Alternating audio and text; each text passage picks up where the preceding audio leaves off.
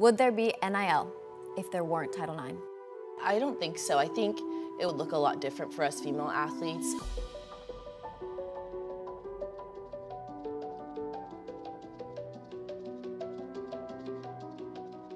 How does your generation view Title IX? Because I played before there was NIL, and I'm seeing the difference between how your generation is getting so much money, getting possibilities that weren't afforded to us.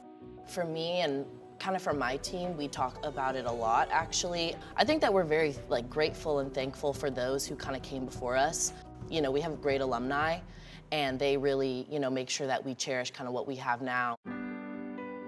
Well, you've seen both sides. You Yeah. started when NIL wasn't a thing, and now it is. How much has changed there? What What is that process like? It's a good and a bad thing. You know, there's, you know, it's kind of two sides to opportunities like this. I think it's a great thing just because it's given me the opportunity to kind of show my personality a little bit more and, you know, kind of deepen my brand with the viewers and um, just kind of gives me an opportunity to show a side of me that I think I wouldn't be able to show before. But you know, it definitely does bring an aspect of pressure, not a pressure to perform better, but just, you know, like, oh, if I strike out 10 times, am I gonna get another deal? Like, you know, just kind of more that. But I think that it, it's been an amazing opportunity for me. Tom Brady being your uncle, what has he taught you through this NIL situation and, and any advice he's given you there?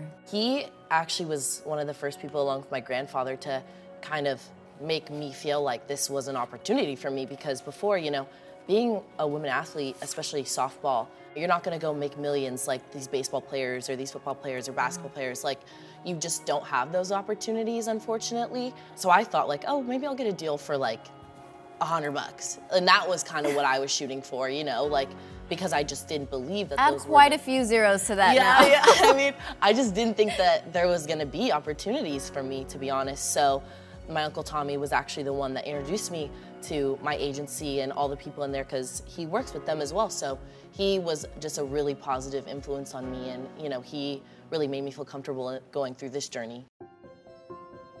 What goes into your thought process when you're deciding on these? I think, you know, at a young age, they're probably telling you something that's authentically you, Yeah. something, that, what, what exactly is that advice? That's something that I kind of had to struggle with a little bit was like when I first joined the agency, it was like, well, what is your brand? And I'm like, I'm 20 Who years old. Like. I don't know what my brand is. I don't even know who I am at 20. Right. I don't even know what my practice schedule is for next week. Right. Like, I don't know even who I am. That's kind of what college is about is figuring out, you know, what you like and curating like what do I use or like what am I passionate about?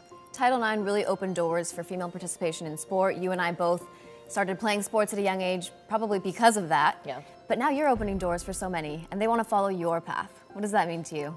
It means so much just because I would look up to these players and, you know, they mm-hmm. were so amazing and they were so cool. And, you know, my mom went through the experience, so I wanted to almost kind of make her proud and make her feel like I was going to do something bigger for myself.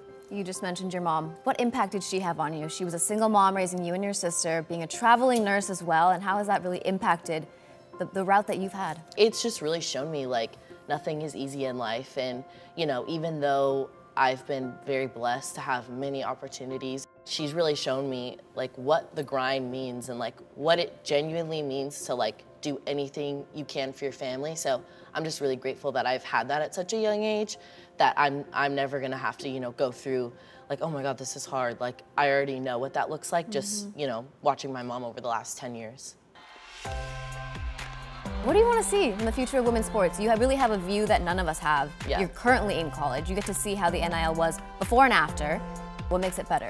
There has definitely been a lot of improvement. The gap between men and women has definitely closed a lot over the last 50 years.